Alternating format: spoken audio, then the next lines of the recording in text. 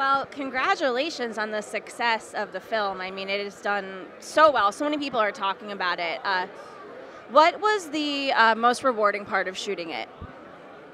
The most rewarding part was when we all knew that we finally got a take successful because it's something that we'd rehearsed for six months long.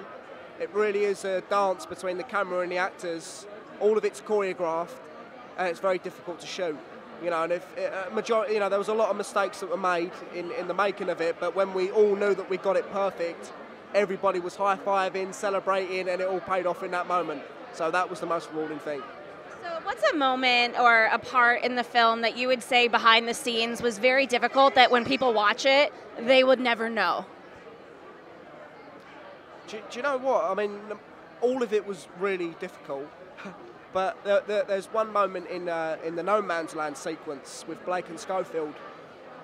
I don't think anyone would realise how difficult that actually is to walk in them conditions. The conditions we were filming in were very realistic.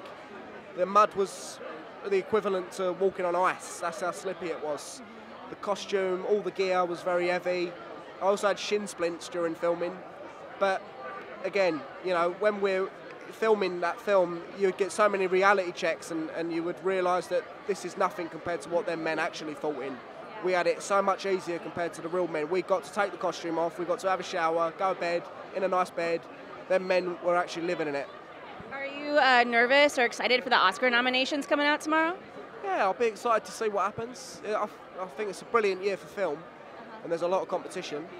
Uh, so I will be very interested to see, you know, who, they nominate. Yeah. What's another film this year that you think that could be your guys' biggest competition? Uh, I love The Irishman. I watched that the other day.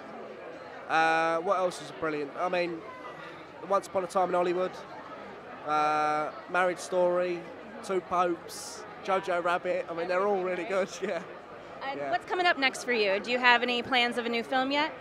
I have a film coming out called Here Are the Young Men, which is an Irish independent film set in Dublin based on a book. Uh, I play the role of Matthew, and it's about a group of friends just graduated from school and they spiral down in this black hole with drugs, alcohol, violence. Uh, it's very dark. So, uh, yeah, it'd be interesting to see what happens with that one as well. I can't wait for it. Thank you so much. My name's Dean Charles Chapman, and you're watching MEA Worldwide.